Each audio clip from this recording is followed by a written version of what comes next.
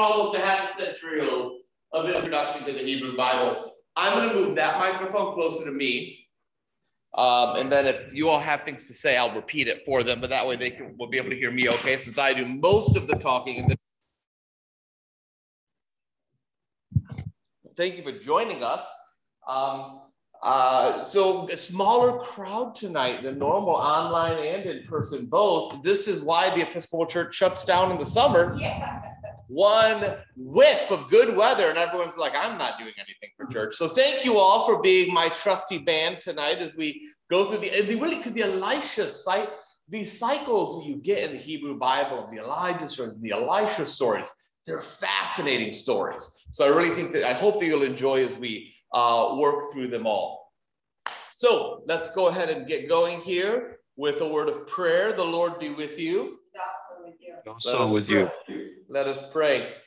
Grant, we beseech you, O Almighty God, that we who believe that the blessed Elijah, your prophet and our father, was wonderfully carried up in a fiery chariot, may by his intercession be raised to the desire of heavenly things and rejoice in the society of your saints. We ask this through Christ our Lord. Amen. Uh, hi, Aaron. Welcome. Good to see you joining us tonight. Um, hi, Aaron. Hey, you're a big A, man. I can't get my camera working, so all you get is Tony Reed tonight. Yeah, you're a big, you're a big, you're a big A. That could go a couple different ways, yeah. Tony. So be careful. there you go. So what we're gonna be, so I, I did on this this same prayer we used uh, last week. If you're if those of you that were with us remember prayer for the Carmelites used when they celebrate the feast of Elijah, and given the fact that the Elisha cycle and the Elijah cycle obviously overlap because Elisha is the successor of Elijah, I figured that I could get away with using that prayer one more time. Uh, so let's go ahead and jump in just to review some things, the text we use for this class. If you don't have a, a, a, solid study Bible to use, I recommend the New Oxford Annotated Bible, New Revised Standard Version. I'll have the pretty leather bound version here, but it comes in paperback or hardcover. Excellent study Bible. How to read the Bible book by book. Excellent if you ever just want to open a, a book of the Bible, but have an idea what you're getting yourself into. Uh, Fee and Stewart do a great job with that. And then, of course, our in-depth commentary for this section is First and Second Kings by Nelson and the Interpretation Commentary series. So let's review a little bit and see what you all remember from last week. Those who are with us. So if you get any of these right, Amanda, you get like five extra points. So so you know that's possible. The points are worth nothing. Just don't, don't get too excited about that. What do you remember about the structure of the story of Kings from this point forward? What did we say about how that structure goes? North and the south it's going to be the north and the south, calling the story of both kings, so the kingdom is divided. And there's something about the way the story of each of the kings is told. It starts with um, so became king, and his father was, and sometimes his mother. And maybe sometimes he did good things, but then he was bad after all. He went back to worshiping the the um, foreign gods, and then then he died and slept with his fathers and was buried um, depending on where. And then his son became king, and so on and so on. Yeah, and a paradigmatic history, the solid structure that's used over and over again in it. Um, and, and, and, always a little more information information about the southern kings than about the northern kings. We also notice that because, of course, remember the book of First and Second Kings was written from the perspective of the southern kingdom of Judea compared to the northern kingdom of Israel. Um, until you get the basic structure here when it comes to the Judean kings, um, which is laid out here. And like I said, is a little fuller than the version you get for the um, uh, Isra Israeli kings. But uh, introduction, synchron introductory synchronism, well, how old they were when they were enthroned, length of the reign, name of the mother, theological judgment, they did good or they did evil in the eyes of the Lord. And then, you know, and all the other works of King so and so, are they not written in the annals of the kings of Judah and so and so died and was buried in the name of his successor. So kind of a, a, a structure that we follow through over and over again.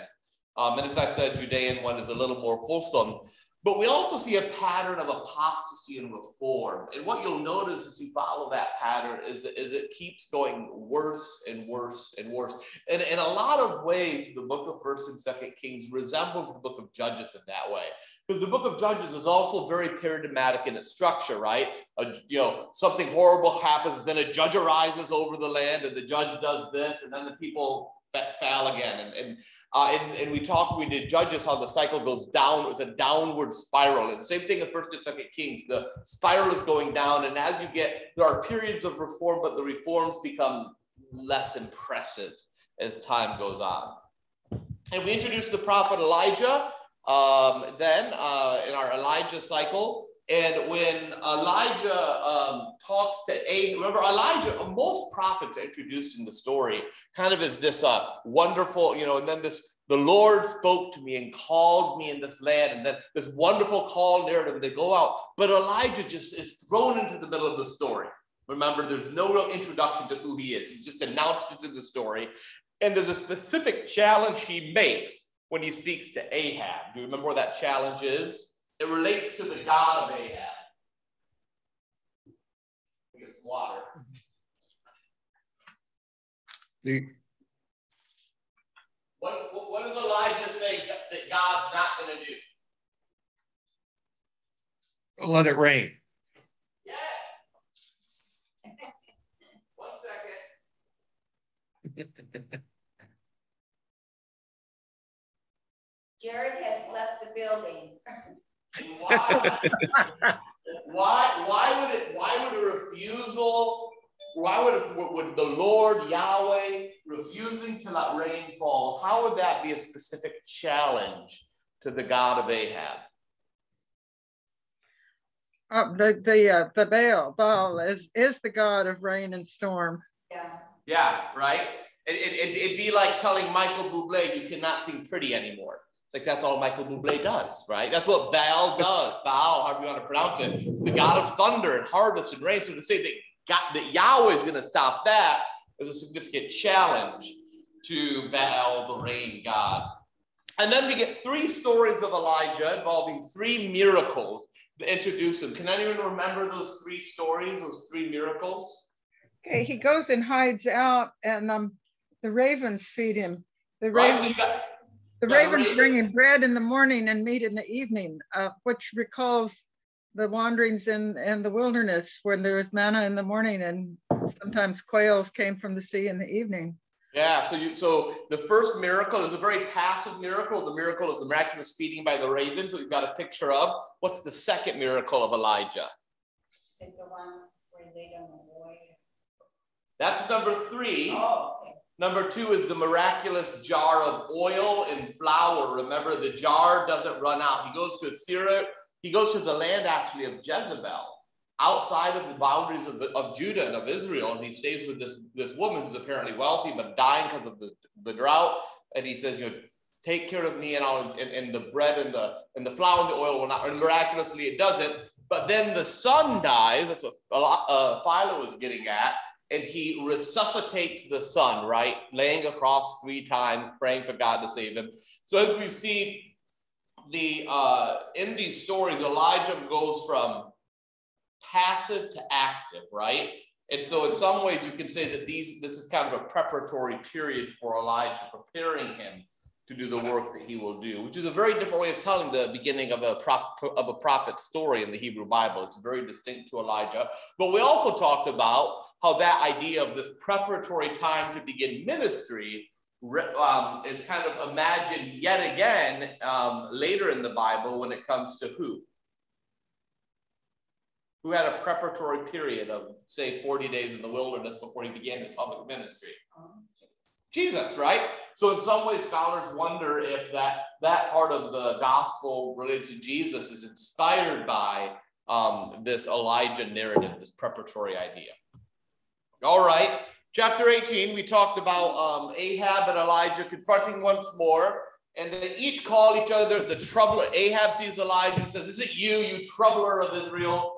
And Elijah said, It's not me, it's you that troubles Israel. And we think, Well, are you just going to have a slap fight? I mean, this seems like a very silly sort of thing. But there's a theological significance to that word troubler. Do you remember what that is? It's a very significant meaning in the ancient Near East. It's used in oath context, particularly for someone who makes a foolish oath or someone who breaks an oath. And so, in the eyes of Ahab, Elijah is a foolish troubler. He's making a foolish oath by promising this drought, even though it's turning true. And on the flip side, Elijah says, No, Ahab, you are the troubler because of the way that you have not kept covenant with God. So, that word troubler is related to covenants and oaths. That's an important theological point. And then we get this contrast where there's, you know, uh, set up a wood on the altar and we'll see if Baal can bring fire down or Yahweh can. In the worship of the two gods, the worship of Baal compared to the worship of Yahweh is markedly contrasted. What, what, what, what do you remember about how is the worship of Baal so different than the worship of Yahweh?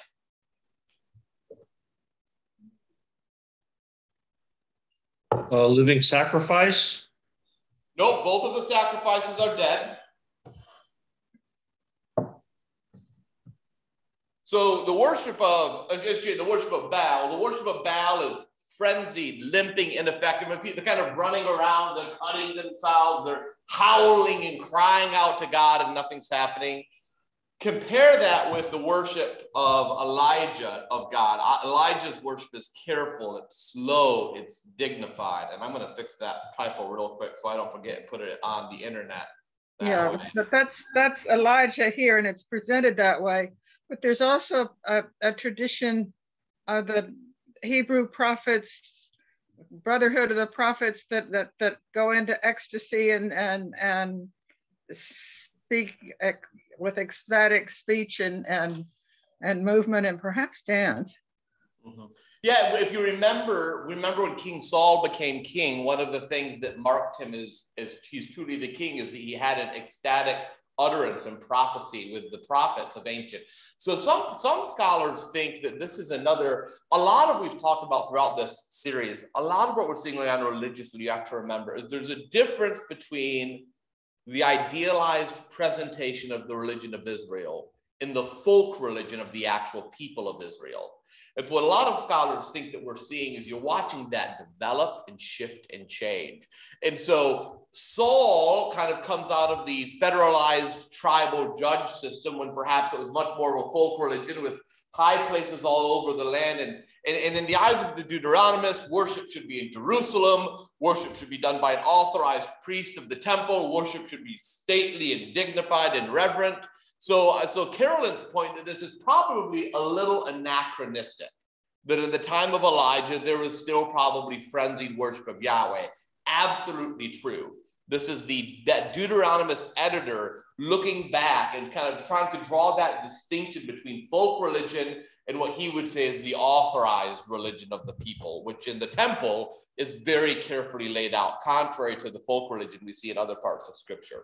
Good point, Carolyn. Thank you for that and um, the Northern Kingdom is in revolt against this newfangled temple thing uh, in Jerusalem, and everybody's supposed to go to the temple. We never used to go to the temple in the old time religion.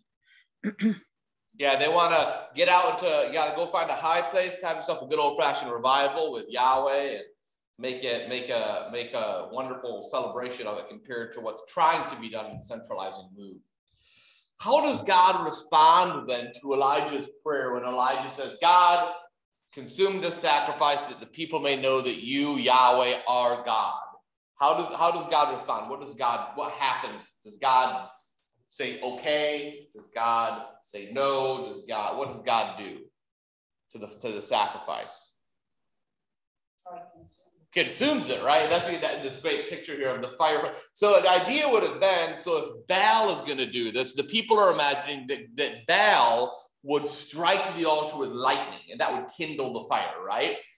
So Elijah, who takes the altar, drenches it with water, and then it's not lightning that comes down, kind of like a surprising natural phenomenon, but it's un, an undeniable theophany of fire pouring down from heaven and consuming the whole offering in and of itself. Uh, a perfect whole offering. We talked about that. This is the fire of Yahweh, the divine warrior. How do the people respond when they see Yahweh's fire fall? Do they run away? Do they believe? What do they say? Right? They fell on their faces. And then what do they do? they slaughter those false prophets. That's a talk about give me some good old time religion. Let's get back to the days when we killed all of the false prophets. That's you know, I really say if we ha- if we had more killing of false prophets in American Christianity, I think we'd all be a lot better. There wouldn't Uh, be anybody left. I will slap my sword upon my thigh and I will ride out in triumph against the false prophets. No, Oh, this is going to be on YouTube. Jared, I don't really believe that. Yeah, Tony. Oh, never mind. I, I withdraw the comment. You just remembered it's on YouTube too. Um, what, does, what does Elijah do in response to this? What, what does Elijah do? Filled with the Spirit. Remember that? He tells Ahab, you better get to, Je- Ahab, there's a storm coming. Guy, the storm of Yahweh is coming. So you better get to, to, to Jezreel, 25 kilometers away. And Ahab jumped in his chariot. He's riding to Jezreel. And Ahab, filled with the Spirit, runs faster than the chariot of Ahab, the full 25 kilometers to Jezreel in advance of the of the storm that God is sending that will end the drought. So this is a profound um, uh, experience and a, a big thing that happens. Um, but then things kind of go downhill because uh, it's not fun to have your God threatened. So Ahab's wife Jezebel threatens to kill Elijah, saying, You know, what you've done to my prophets, I'm going to do to you before the day ends. And so Elijah flees. Uh, but Elijah's flight away from the dangers of Judah changes um, kind of ever so slowly into something else. Do you remember how that flight changed into something other than a, a flight? It, it, it, it, starts as a flight motivated by Jezebel's oath, but then it soon changes into a movement directed by God to recommission Elijah, to assure him of his prophetic office and authority. And his uh, journey uh, takes him. Where do you remember where his journey takes him? There's a, I, I, there's a hint in the, the line above that question. Yeah, Horeb. Yeah, you know, uh, so, all, but starts right at the solitary broom tree, but eventually takes him to Horeb, the mountain of God, in this 40 day journey that echoes the story of Moses. Um, and, and Elijah has forgotten a very key point. What does Elijah think is going on right now in terms of himself and the, the fidelity of the people? I'm the only prophet left. Everyone's forsaken Yahweh. He's forgotten Obadiah, remember, who serves in the king's court. The way Obadiah has already protected 100 prophets in Israel in two different. So there are faithful people in Israel still. There are other prophets, but in his, in his depression, he has forgotten that he's not alone. Um, and then he hears something on Mount Horeb. Do you remember what he hears?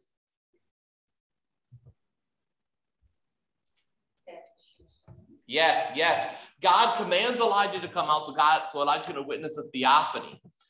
But and there's a there's thunder, there's you know there's the fire, there's the thunder, all of these kind of normal ways you'd see God. And Elijah doesn't come out till it's all over. And then when it's all over, he comes out and hears a soft murmuring sound, or the sound of sheer silence, or a still small voice, depending how you want to translate the Hebrew there. And in that still small voice, Elijah experiences a new call from God. Um, and part of that, go ahead, Carolyn. Is anybody else old enough to remember Simon and Garfunkel's Sound of Silence? Yes, yes, wonderful. The words of the prophets, right? Written on the subway Right. walls. Right, words of the prophets were on the subway walls. one of one of part of Elisha's commission, you know, Elijah is told you're not alone. There's all these other prophets, um, and go and do this and go and do that. One of the things that he's told to do is to go ahead and go commission his successor, who is Elisha. So he he leaves the mountain and he finds Elisha. And what do we know about Elisha, um, given uh, when he's called, how, given the way he's described? He was uh, wealthy. Yeah, he's a farmer, but a well, he's dry, he's got 12 yoke of oxen. Who farms with 12 yoke of oxen? This is a very wealthy farmer that he has. Um, and then what does he do when Elisha throws his mantle over him? Do you remember? He gives it up. Yeah, he's unsure. Well, can I first go back and hey, honey, how you doing? Good to see you.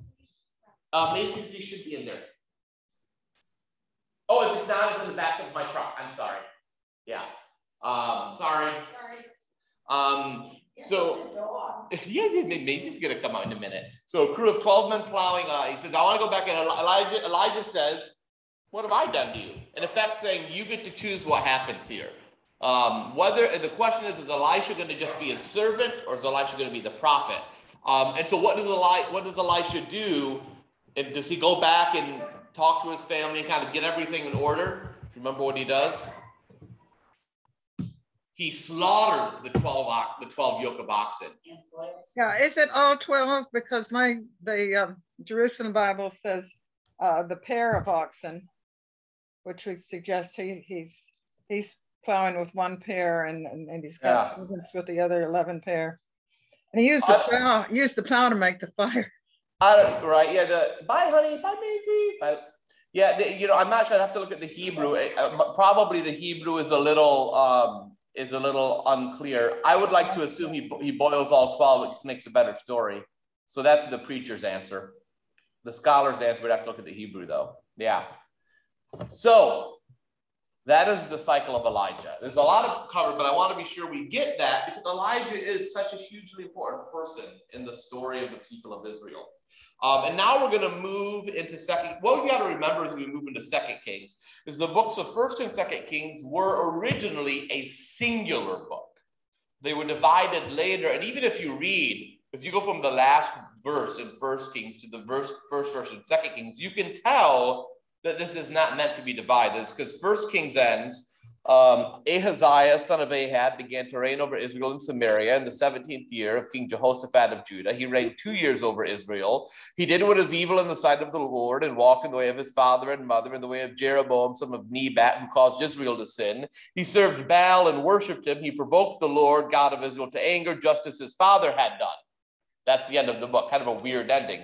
But then you continue the next one after the death of Ahab. Moab rebelled against Israel. Ahaziah had fought. So it don't the books aren't meant to be divided. They were divided later, but really they were originally written as a singular unit. So that's an important thing to remember. Um, the other thing to note is it's actually in in the in uh, the um, Hebrew Bible, First and Second Samuel and First and Second Kings are all one book. They're the four book of kingdoms. They're like that in the Septuagint as well, I think. Um, so these are these are a singular story. So you can it's kind of it's a, it's a real it's what you know sometimes you watch a movie and the movie ends and you're like, okay, you basically just want to make a sequel. Like you're not even attempting to finish the story. So that that's what it kind of feels like if you don't follow it otherwise. Uh, but we've got to go to Second Kings chapter 2 because all of this time Elisha has been serving as the servant of, of Elijah.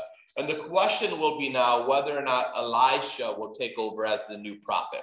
So, beginning in verse 1 of chapter 2. Now, when the Lord was about to take Elijah up to heaven by a whirlwind, Elijah and Elisha were on their way from Gilgal. Elijah said to Elisha, Stay here, for the Lord has sent me as far as Bethel. But as Elisha said, As the Lord lives and as you live, I will not leave you. So they went down to Bethel. The company of the prophets who were in Bethel came out to Elisha and said to him, Do you know that today the Lord will take your master away from you? And Elisha said, Yes, I know. Keep silent. And Elijah said to him, Elisha, stay here, for the Lord has sent me to Jericho. But he said, As the Lord lives and as you yourself live, I will not leave you. So they came to Jericho. The company of prophets who were at Jericho drew near to Elisha and said to him, Do you know that today the Lord will take your master away from you? And Elisha answered, Yes, I know. Be silent. Then Elijah said to him, Stay here, for the Lord has sent me to the Jordan. But Elisha said, As the Lord lives and as you yourself live, I will not leave you. So the two of them went on. Fifty men of the company of prophets also went and stood at some distance from them, as they both were standing by the Jordan. Then Elijah took his mantle, rolled it up, and struck the water. The water was parted to the one side and to the other until the two of them crossed on dry ground. Elijah keeps trying to get rid of Elisha, right? It's kind of a very bizarre thing. We don't really know why it is. Um, you know, some people as they approach the end of life, they kind of don't want to don't want to be bothered. They want to face it on their own. Um, I, have encountered that when I've done uh, end of life visits for people. That they don't want people to see them like this, whatever it might be. They want to face the future, face the end on their own. Um, and then other people want to be face it surrounded by everyone. So we don't know if that's going on. We don't know if perhaps this is a series of tests that Elijah is giving to see whether or not Elisha will remain faithful. It's unclear um, but regardless, we see that Elisha persists and remains with it. Looks like Carolyn, you might have an idea about that. Oh yeah, I see it as as test definitely in a three. What I tell you three times is true. Yeah. Oh, and once again, where just three times I'll go with you. And, and once again, where is that echoed in scripture? This three-time question of commitment and faithfulness. Where do you hear that again in the Bible? Peter, Peter right? The, the, so you, you, one thing I really, I, I, really think is the more you dive deeply into the, the, Hebrew scriptures, you wind up realizing how so much of the Gospels truly are echoes yes. of stories in the Hebrew Bible over and over and over again. You can't deny the Judeo heritage of those stories. Um, that line that Elisha gives, I will not leave you, is actually the same phrase in Hebrew that Ruth had spoken to Naomi. If you remember that, when Naomi um, is left a widow and she goes she's in, she's in the land of Moab and she's going to go back to her people and she tells um, Orpah and Ruth, you know, go find other husbands, leave me. And Ruth, and Ruth says, I will not leave. I will not leave you. And so it's that same kind of fidelity being promised and echoed here. So that would argue in favor of the test theory. To be clear, this journey is a pointless journey. Gilgal to Jordan to Bethel to Jericho to Jordan. I mean, he's kind of going in circles throughout the wilderness and back. Um, the journey isn't the point, uh, other than going out into the wilderness across the Jordan, across the Jordan and back. Um, it's, it's almost as though he's kind of trying to really shake him from his path. And then the to cross the Jordan on dry ground, that Hebrew phrase there, dry ground, is an ex- echo of the Exodus and conquest narratives. In Exodus 14, when the people of Israel crossed through the Red Sea on dry ground. And then in Joshua 3 and 4, uh, when the people of Israel, when they entered the promised land from that um, eastern border of, of the Jordan, um, how the water split. Remember when the Ark of the Covenant entered the water and they went through on dry ground. So this is a reversal or a recapitulation, depending on how you look at it, of that ancient history um, happening right here in this story. Um, Thoughts, comments? So the mantle pass is continuing in verse 9. When they had crossed, Elijah said to Elisha, Tell me what I may do for you before I'm taken from you. Elisha said, Please let me inherit a double share of your spirit. He responded, You've asked a hard thing. Yet if you see me as I am being taken from you, it will be granted. If not, it will not. And as they continued walking and talking, a chariot of fire and horses of fire separated the two of them, and Elijah ascended in a whirlwind into heaven.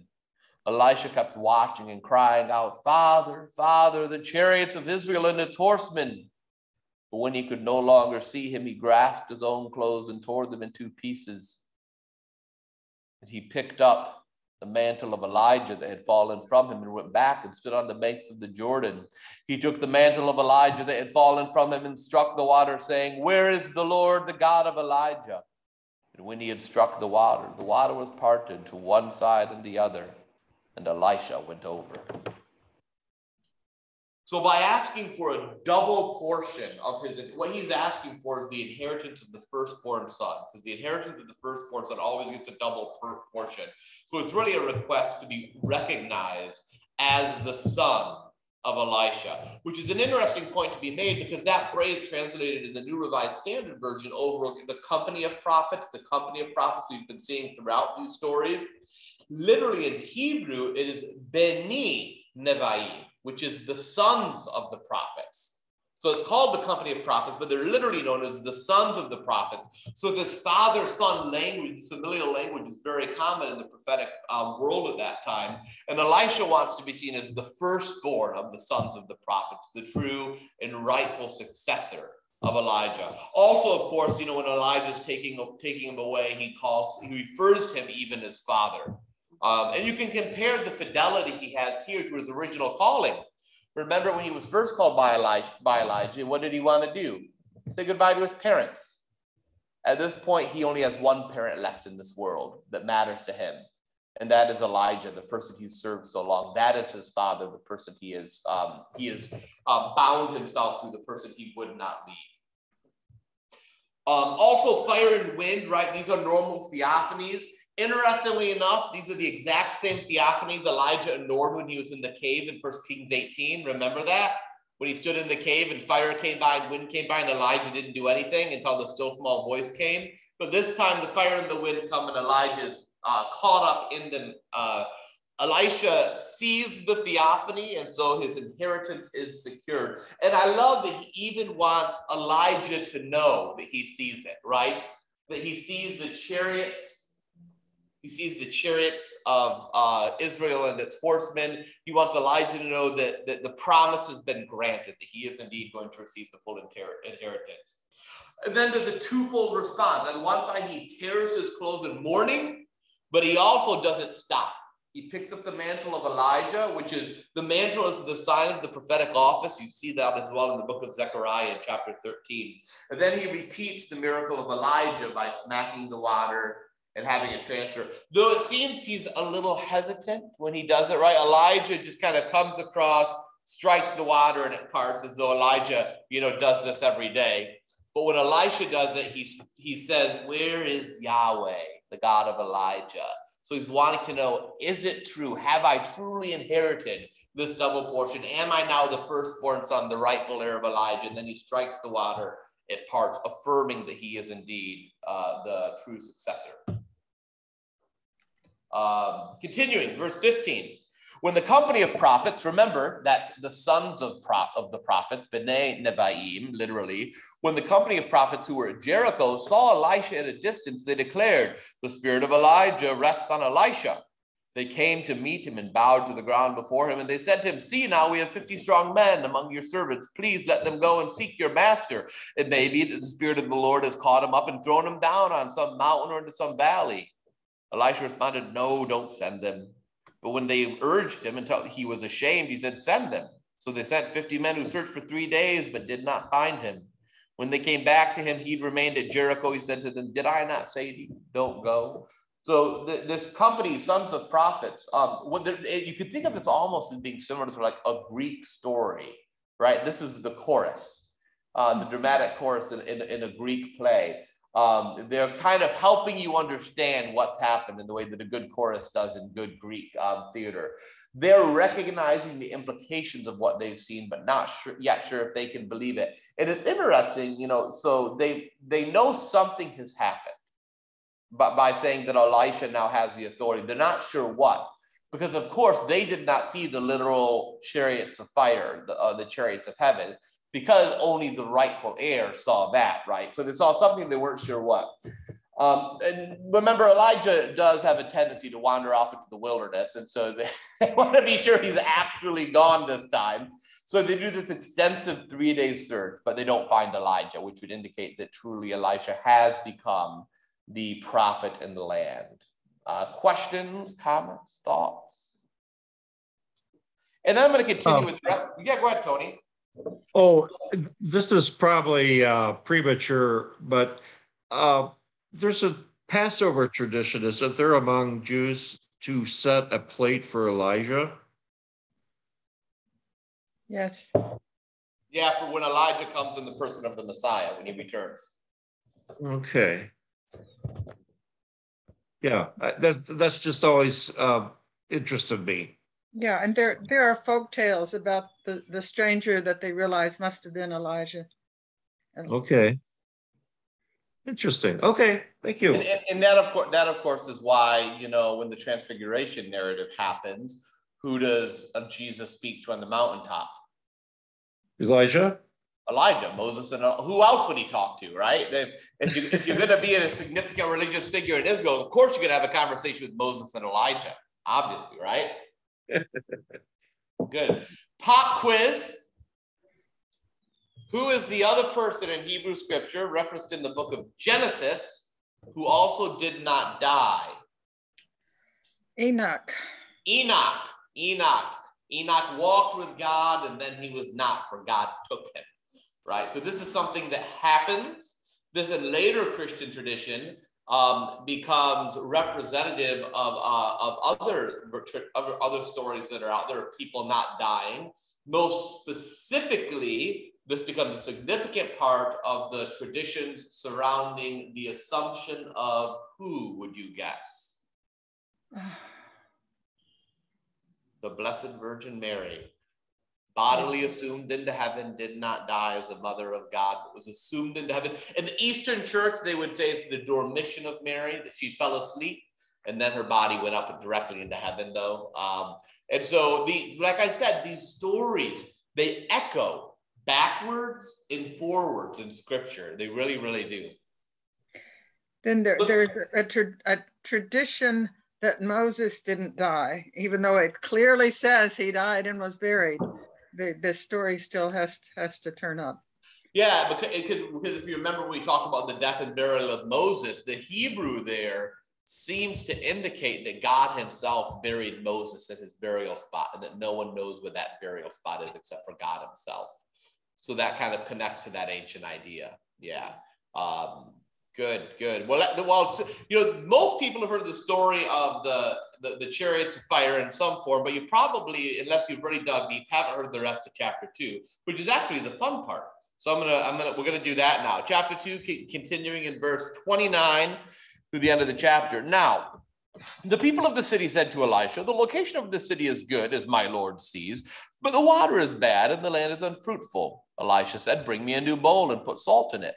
So they brought it to him, and then he went he went to the spring of water and threw the salt into it and said, Thus says the Lord, I've made this water wholesome. From now on, neither death nor miscarriage shall come from it. So the water has been wholesome to this day, according to the word that Elisha spoke. He went up from there to Bethel, and while he was going up on the way, some small boys came out of the city and jeered at him and said, Go away, bald head, go away, bald head. When Elisha turned around and saw them, he cursed them in the name of the Lord. Then two she bears came out of the woods and mauled 42 of the boys. From there, he went on to Mount Carmel and then returned to Samaria. So, first off, catch a couple things. Similar to the journey of Elijah, this kind of circuitous journey, these are the high places of, of, of worship. Bethel, right? These are the places you would go. That's why there's always companies of prophets there. Um, these two prophetic legends demonstrate that Elisha is just as powerful as Elijah was. That's the purpose of these in the narrative. Um, the wonder deed in verses 19 through 22 echoes a story in 1 Kings 17, um, where there is also water made whole. It's also, of course, echoing right in the wilderness when when there was brackish water and got and you know Moses solved that issue by throwing the tree in it. This is something real. Uh, the bad water in the area may have something to do with the curse that was placed upon the side of Jericho by Joshua. That's a possibility as well. Um, uh, but this idea of taking brackish water and making it good again uh, is important. And this idea that, you know, even to this day, women go to the city and drink water from this ancient site in the hope that it'll keep their pregnancy safe because it's such a powerful living water. Um, this is uh, an expected sort of thing. That idea of, of the salt in the water as well is why in ancient rites of the church, when you create holy water, the first thing you do is you exorcise salt, then you exorcise water, and then you mingle the salt in the water. So if you've ever been with me when I've done a house blessing and I've made holy water using the ancient forms, you'll notice I'll do that. I'll ask for some salt from your home. I will exorcise evil out of it. I'll ask water from your home. I'll exorcise evil out of it. I'll blend them together and then I'll bless it and make that the holy water we'll use. I'll use that older form. But that's coming from this ancient text here. That's where that, that idea, that theme comes from. Um, the story of the children and the bear, probably either hilariously comic or unsettling, right? Uh, hey, Baldy. Ah, you like Baldy, you say? You like people with more hair. Let me send someone with more hair this way than two she bears come and maul 40. And I like the one, the, the, the commentator that in this uh, interpretation commentary, he says that what this story does, it unsettles our post-industrial apotheosis of childhood. Which is true, right? Before the Industrial Revolution, children were eh. But we idolize children in our day and age. And so this is reflecting the way children are viewed in the ancient world. Don't be freaked out by it. This is this is authentic. Um, well, that was was that primarily because children were so likely to die yes. in infancy? They're so likely, to, and not to mention, there's no contraception, so you're just going to have a whole lot. You just keep, you know, pushing them out. Um, so for the ancient re- reader, they would see these juvenile delinquents getting what they deserve, and they would be satisfied by that. This would be a, a pleasant story for an ancient reader to read. Um, to insult the prophet is to insult God, and Elisha makes that clear. Um, in the end, what it becomes for the modern reader is a hilarious story to talk about how when a prophet made two bears come out of the wilderness and maul a bunch of children.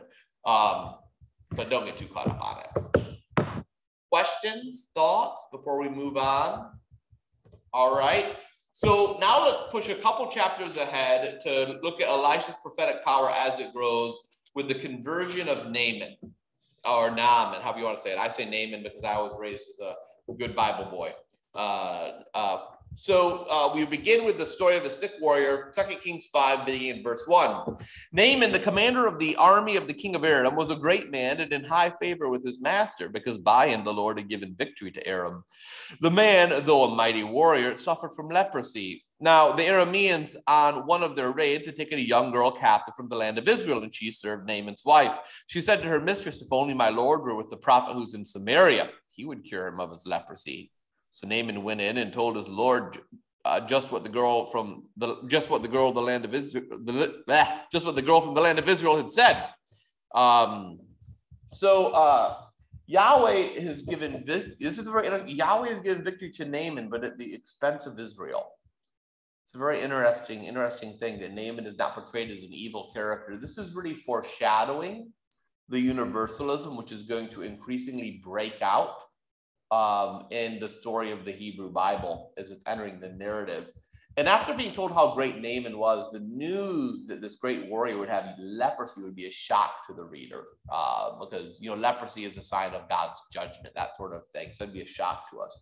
To be clear, the Hebrew Bible classified a wide variety of skin diseases under the heading of leprosy. Apparently, Naaman's was one of the more minor types uh, that did not create social barriers. Because, of course, some forms of leprosy, you had to be divided away from the community. Other forms, it seemed to have just been some sort of skin disease. We're not quite sure what it is in Naaman's case, but it seems not to have been so serious that he's cut off because he's still, of course, functioning and living with his household.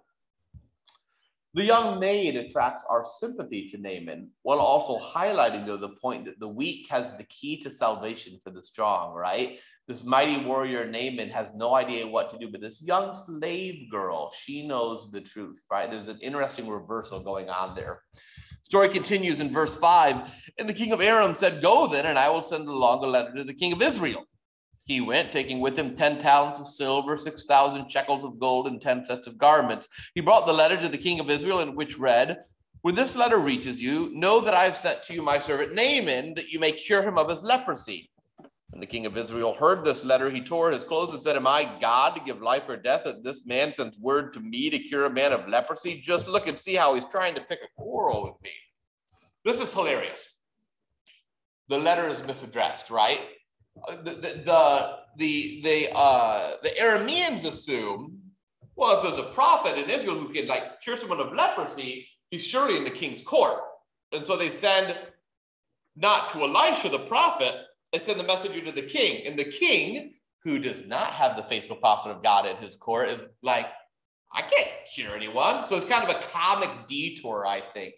Um, the, the, the, letter doesn't ask for the prophet in Samaria, it just assumes that the king will know how to save this. So it's kind of a clumsy national bureaucracy here, I think, which just puts some levity to the narrative, similar to the story of the bears and the kids. The king of Israel also makes an inadvertent but important confession to the power of God, um, preparing for Naaman's coming confession. So he knows that God is the one who gives life and death, and that he does not have access to that divine power of life. Um, and then, as we'll see, Elisha will take matters into his own hands when the healing happens, so that he will see that there is a prophet of Israel, which is a, a rejection of, of, of what the king had assumed when he first talked. Continuing in verse 9. But when Elisha, the man of God, heard that the king of Israel had torn his clothes, he sent messages to the king. Why have you torn your clothes? Let him come to me, that he may learn there is a prophet in Israel. So Naaman came with his chariots and his horses, and he halted at the entrance of Elisha's house. Elisha sent a messenger to him saying, Go wash in the Jordan seven times, and your flesh will be restored, and you shall be clean. But Naaman became angry and went away, saying, well, I thought that for me he would surely come out and he would stand and call on the name of the Lord his God and would wave his hand over the spot and cure the leprosy. Are not Abana and Pharpar, the rivers of Damascus, better than all the waters of Israel? Couldn't I wash in them and be clean? And he turned and went away in a rage. But the servants approached him and said to him, Father, if the prophet had commanded you to do something difficult, would you not have done it? How much more when all he said to you was, Wash and be made clean? So he went down and immersed himself seven times in the Jordan, according to the word of the man of God, and his flesh was restored like the flesh of a young boy, and he was clean. So Elisha puts Naaman in his place by refusing to grant him an audience. You know, this is an important person, an important man, but he's a prophet. He has important things to do. So he just sends him a message, doesn't even visit him in person, which accomplishes exactly what Elisha hopes it will accomplish, which is to tick him off. So Naaman is given a classic narrative choice go to something that appears silly if you trust in what God says is going to happen. So if this is test to see what's more important to Naaman, his pride or the health and the life that God can bring him. Uh, of course, but both Naaman's ego and national pride have been injured. Why didn't he come and talk to him? He thought he was going to do a song and dance routine. There was no song and dance routine. I thought that'd be very exciting. And by the way, we've got way better water back home, right? Uh, this is like, you know, if someone, you know, if I journeyed all the way to Texas to be healed and um, someone was like, well, go, go wash in the Brazos seven times. They'd be like, listen, there's way better water in Michigan. I'm not going to the Brazos. Uh, it's exactly similar sort of thing. Uh, Naaman's uh, his local pride has been hurt. But this, but once more, the person in power doesn't know what's going on, but the servants, the slaves, the oppressed, the small people know what's going on. They get Naaman's healing back on track, and he he goes to the Jordan and he's healed. This is why you know, over and over again, the Lord lifts up the lowly, casts down the mighty, as we hear in the Magnificat, right? This is a theme that echoes throughout the Hebrew Bible. It's, it's so it's so important. The, and then after this, we get the conversion, beginning in verse 15. The Naaman returned to the man of God, he and all his company. He came and stood before him and said, Now that I know there is no God in all the earth except in Israel, please accept a present from your servant. But Elisha said, As the Lord lives, whom I serve, I will accept nothing. He urged him to accept, but he refused. Then Naaman said, If not, then please let two mule loads of earth be given to your servant, for your servant will no longer offer burnt offering or sacrifice to any God except the Lord. But may the Lord pardon your servant on one count when my master goes into the house of Rimmon to worship there, leaning on my arm, and I bow down to the house of Rimmon. When I do bow down to the house of Rimmon, may the Lord pardon your servant on this one count. And Elisha said to him, Go in peace.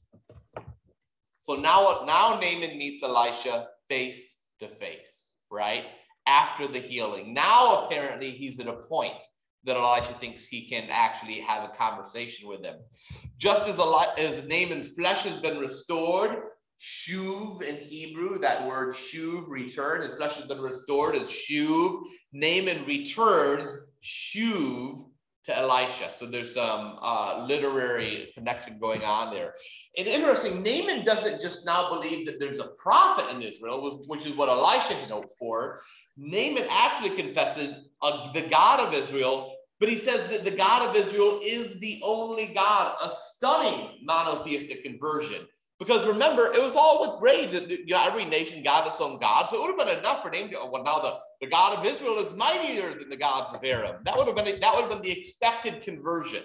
But for Naaman to say, I now see there's no God except the God of Israel, monotheism, that has not existed yet in this time. So it's a really profound, for uh, uh, progressive sort of conversion. Elisha is a servant of God, though, and so Elisha declines to get a gift in response for what he did. Um, Naaman is a man with double loyalties, though, right? He asks for mercy over rigorous Puritanism. He knows when he goes back home to work that he'll have to go into idolatrous temples. And he says, I just, when I do that, just know I'm not going there because I want. I'm going there because I serve my king. And please forgive me for when I have to go into to these idolatrous temples. And interestingly enough, Elisha responds with the wish of shalom. Elisha is not rigorous or puritanical. He'll let you go to the idols temple. It's just it's not a real God, anyways. Uh, which is a real push against kind of the puritanical tendencies in religion, I think, in our own time. Uh, continuing in verse 20. But when Naaman had gone from him a short distance, Gehazi, the servant of Elisha, the man of God, thought, hmm, my master's let the Aramean Naaman off too lightly, but not accepting from him what he offered. If the Lord lives, I will run after him and get something out of him. So Gehazi went after Naaman. When Naaman saw someone running after him, Naaman jumped down from the chariot to meet him and said, Is everything all right? He replied, Yes, but my master has sent me to say two members of the company of prophets, sons of prophets, remember, have just come to me from the hill country of Ephraim. Please give them a talent of silver and two changes of clothing. Naaman said, Please accept two talents. And he urged him and tied up two talents of silver and gold in two bags with two changes of clothing and gave them, the, gave them to two of his servants who carried them in front of Gehazi. When they came to the citadel, he took the bags from them and stored them inside. He dismissed the men and left. And he went and stood before his master, and Elisha said to him, Where have you been, Gehazi? He answered, Oh, your servant has not gone anywhere at all. But Elisha said to him, Did I not go with you in spirit when someone left his chariot to meet you? Is this a time to accept money and accept clothing, olive orchards and vineyards, sheep and oxen, male and female slaves? Therefore, the leprosy of Naaman shall cling to you and to your descendants forever. So Gehazi left his presence leprous, as white as the snow. So the Gehazi sequence sets Naaman's story into the perspective of the ordinary reader. It universalizes it into categories that transcend leprosy and Gentile conversion and get right to the root of these questions of faithfulness and honesty in the way you deal. Gehazi is faithlessly greedy, while Naaman is faithfully generous. Gehazi's belittling nationalism is in strong contrast to Elisha's inclusivity. Um, in some ways, you know, a lot. What's amazing in, in Naaman's conversion is he's all annoyed because he's such a nationalist guy. But after he's converted, he doesn't he just doesn't believe that his gods in Aram are work aren't as strong. He doesn't even think they exist anymore. He's given up that. And Elisha, by saying it's okay for for you to go to the temples and in, in, Aram, I'm not I'm not going to hold that against you. Is you know is open minded and kind and, and and merciful. Gehazi though, like why does Aramean off? This is, you know, he, he, he, he's, he's in total contrast to the spirit, to, to the spirit of Naaman's conversion and also to the approach of Elisha. Uh, Naaman, there isn't any religious or nationalistic sentiment. It's just greedy. It reduces it to the trivial level of, yeah, what's in it for me? Yeah, yeah. And it, it's so natural and so human. This we've had the great religious conversion and then this guy's like, okay, maybe I get a bit for myself. Right, right, right. And interestingly, when when when when Naaman sees someone running, he assumes something's gone wrong, right? So he jumps off his chariot and he says, "Is everything all right?" The Hebrew there, he asking, he's asking if the shalom is still is still here, if there's mm-hmm. still the peace that Elisha had offered him, or if that has been lost. So there, there's just a, a, a, faithful conversion that you're seeing. That that that the, the, and all of the pride and the ego, like why didn't he come to me? Why is, is absent. He jumps off of his chariot, walks on the ground to be sure that he hasn't done anything wrong inadvertently. So the fact that Gehazi is taking advantage of him, which this is a man that is fully converted, it just makes it all the more despicable. Yeah. Elijah, those. Yeah, Elijah, no it, um, Naaman has has accepted Yahweh as the only God, but he's still the God, especially of Egypt, and he can't imagine really worshiping Yahweh, the God of Israel, except on the soil of Israel. So he takes some with him. yeah, right. sort of sweet and simple and naive, but heartfelt. yeah. So Elisha sees through the lie, and, and so Naaman's leprosy is visited on Gehazi, who gets it. So that which is kind of an interesting turn in the narrative. So before we wrap up tonight, I want to cover one more story if we can, and that is the end of Israel and the death of Elisha in uh, chapter 13, beginning in verse 1. In the 23rd year of King Joash, son of Ahaziah of Judah, Jehoahaz, son of Jehu, began to reign over Israel and Samaria. He reigned 17 years. He did what was evil in the sight of the Lord, followed the sins of Jeroboam, son of Nebat, which he had caused Israel to sin, and did not depart from them. The anger of the Lord was kindled against Israel, so that he gave them repeatedly into the hand of King Hazael of Aram, and then into the hand of Ben Hadad, son of Hazael. But Jehoahaz, but Jehoahaz entreated the Lord. The Lord heeded him, for he saw the oppression of Israel, how the king of Aram, how the king of Aram oppressed him. Therefore, the Lord gave Israel a savior, so that they escaped from the hand of the Arameans, and the people of Israel lived in their homes as formerly. Nevertheless, they did not depart from the sins of the house of Jeroboam, which had caused Israel to sin, but walked in them. The sacred pole also remained in Samaria. So Jehoahaz was left with an army of not more than 50 horsemen, 10 chariots, and 10,000 footmen. The kings of Aram had destroyed them and made them like the dust at the threshing. Now, the rest of the acts of Jehoahaz and all that he did, including his might, are they not written in the book of the annals of the king of Israel? So Jehoahaz slept with his ancestors. They buried him in Samaria, and his son Joash succeeded him. What happens beginning in chapter 13 is the chronological pace of the narrative really significantly increases. Actually, in these next two chapters, about a century of time is covered in the space of three chapters in the reigns of 11 different kings. So the kind of the theological points have been made. There's no reason to drag them out. And so you start seeing that paradigmatic cycle start turning a little more quickly. Um, it, it's what dominates. And the kings of Israel are all evil they all follow the kings of Jeroboam. The kings of Judah do right, except in the matter of sacrifice, where they still sacrifice wrongly. Um, the, if the sentences of chapter 13 are read in chronological order, I want to be honest, the text is confusing. Um, it's not quite clear who is king when and for how long. That's probably because there's some textual corruption here in some of the ancient manuscripts. And so some of the later manuscripts, you'll see that they they amend the manuscript about who exactly was king when. Um, but remember that this is a theological history. We're not terribly interested in who was king when. That's not what they're really interested in telling us. They're interested instead in the continued decline of the nation, even if they can't get their dates right anymore for who was king over what period. Jeho- Jehoahaz is a bad king, but somehow he has the Lord on his side. We don't know how it is, why it is that God responds to Jehoahaz despite his, uh, how, how bad he is. The identity of the Savior sent by God is not specified.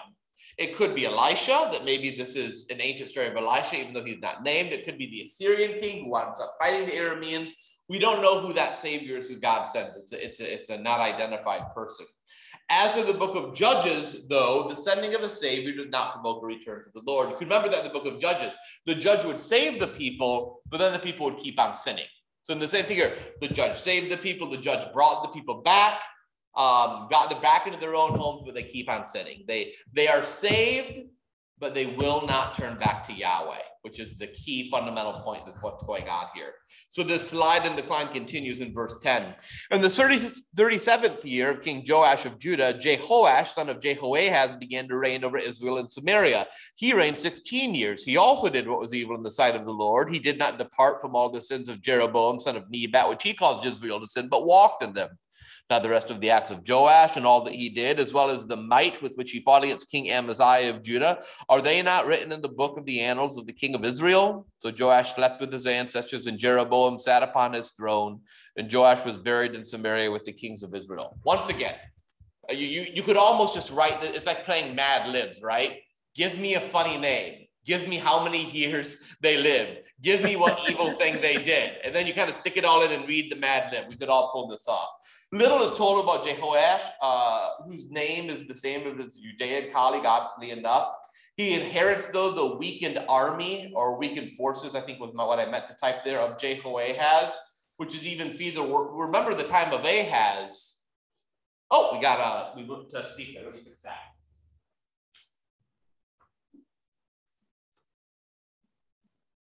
In the time of Ahaz, the this was a, a, a, a the kingdom of Israel. This was Israel was a mighty kingdom, right? Um, and at this point, you've got what? What did you have in the time of his father? You've got left 50 horsemen, 10 chariots, and then some footmen. Mm. You're not going to do much good in battle there. So he's inheriting that weakened nation. And then we get Elisha's last prophecy as Elisha suddenly appears back in the narrative in verse 14. Now, when Elisha had fallen sick with the illness of which he was to die, King Joash of Israel went down to him and wept before him, crying, My father, my father, the chariots of Israel and its horsemen. Elisha said to him, Take a bow of arrows. So he took a bow of arrows. And he said to the king of Israel, Draw the bow, and he drew it. And Elisha laid his hands on the king's hands, and he said, Open the window eastward. And he opened it. Elisha said, Shoot, and he shot. Then he said, The Lord's arrow of victory, the vict- arrow of victory over Aram, for you will fight the Arameans in Aphek until you have made an end of them. He continued, Take the arrows. So he took them, and he said to the king of Israel, Strike the ground with them. He struck three times and stopped. The man of God was angry with him and said, Ah, you should have struck five or six times. Then you would have struck down Aram until you'd made an end of it. But now you will strike down Aram only three times. This is a bizarre story. Let's acknowledge that. Elisha has been entirely absent from the narrative, to be honest, for several chapters now. It's just been telling the story of this decline of kings. Ever since Jehu was anointed 50 years earlier, we have heard nothing from Elisha until this moment. Uh, and if you remember, anointing Jehu as king was one of the tasks Elijah was given by God. Remember that? When God gave the task to Elijah and, uh, in the still small voice, he said, uh, make Elisha your successor. And then Elijah didn't do the rest of them. One of them was to anoint Jehu. So Elisha is the one who winds up anointing Jehu, carrying on that task. Jehu did carry out some reforms, but they were largely ineffective. Uh, and, and then Elisha's gone from the narrative. Uh, King uh, Joash, though, sees Elisha as the protection of Israel, as its chariots and horsemen. Interestingly enough, the same phrase that Elisha said, right? When Elijah was being taken up in and so so some scholars wonder if the story of Elijah being taken up in a whirlwind is not an experience of fiery chariots, but if that is actually the chariots of Israel is a way you refer to a prophet. And if it's metaphorical language in both cases, um, that, that, that when Elisha, Elisha shouts after Elijah, the chariots of Israel and its horsemen, he's talking to Elijah, Elijah because Elijah is the chariots of Israel and its horsemen. Elijah is the true force that protects Israel in the same way that Joash now believes Elisha is. It, we don't know for sure, but it's an interesting uh, phraseology. Arrows were often used for divination in the ancient Near East, so that's not a, an, an abnormal part of the story. The last prophetic message we get, though, is one of incomplete victory. After Elisha's death, Israel will have to rely on a lukewarm king whose prayers are undercut by their sin. So he drew the arrow, and Elisha says, you, You're going to win. He's like, Now take all those arrows and fire them into the ground. And Elisha's like, Yeah. I mean, Jehu's like, Yeah. I mean, Joash is like, Yeah, one, two, three. And then he's done. And Elisha's like, See that right there? I said, Fire them all, and you just fire three. You're you're only incomplete, you're lukewarm, you're not going to follow through, you're not actually going to win. And then the last prophecy of Elisha, we'll close with this. Verse 20. So Elisha died and they buried him. Now, bands of Moabites used to invade the land in the spring of each year. As a man was being buried, a marauding band was seen, and the man was thrown into the grave of Elisha. As soon as the man touched the bones of Elisha, he came to life and stood on his feet. Now, Hazael of Aram oppressed Israel all the days of Jehoahaz, but the Lord was gracious to them and had compassion on them. He turned toward them because of his covenant with Abraham, Isaac, and Jacob, and he would not destroy them, nor would he banish them from his presence until now. When King Hazael died, his son Ben Hadad succeeded him. Then Jehoash, son of Jehoahaz, took again from Ben Hadad, son of Hazael, the town that he had taken from his father Jehoahaz in war. Three times Joash defeated him and recovered the towns of Israel. Three times alone, though, because prophecy. So this last story is told with Elisha's whole prophetic career in view, reflecting on Israel's situation. The chariots of Israel in the person of Elisha are gone. Raiders can now invade the country without opposition. There's no more protection for the land. But God's power remains. And even after his death, Elisha can perform the life giving miracles of God. I love that when that marauder is killed and is thrown into the grave, but it happens to be Elisha's grave. He touches his bones and he comes back to life, right? What a wild story is that. In the final verses, we return to the reign of Jehoahaz. These were likely inserted by a later redactor to connect us with verses four and five.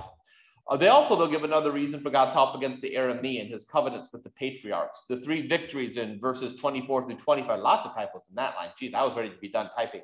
Refer to that encounter between Elisha and Jehoahaz. All right, comments, questions, thoughts before we wrap up for tonight? I, several years ago, I started thinking about a different take on particularly Elijah you have a, a ruler, legitimate ruler, who is trying to control a multicultural society and remain on good terms with, with the neighboring countries and and tolerate the customs of these multicultural people. And you have this crazy wild man out of the desert bringing fire and death in the name of a, a, a tra- traditional god that they should go back to, which is probably anachronistic anyway. Um, it doesn't, yeah, has some problems. Yeah, I mean, Ahab is not a nice person, but still, it, it's tricky when you try to start really reenacting the history of what was probably going on, particularly because in the end, the person who rescues the people of Judah from the their exile in Babylon is King Cyrus. One of the big points about King Cyrus of Persia, or Artaxerxes, depending how you want to talk about his name, is that he was very cosmopolitan, as he thought the way to peace in the empire is you let everyone worship their own God. And so, of course, he sends the people of Judah back to rebuild the temple and worship their own God. So, how fascinating, right?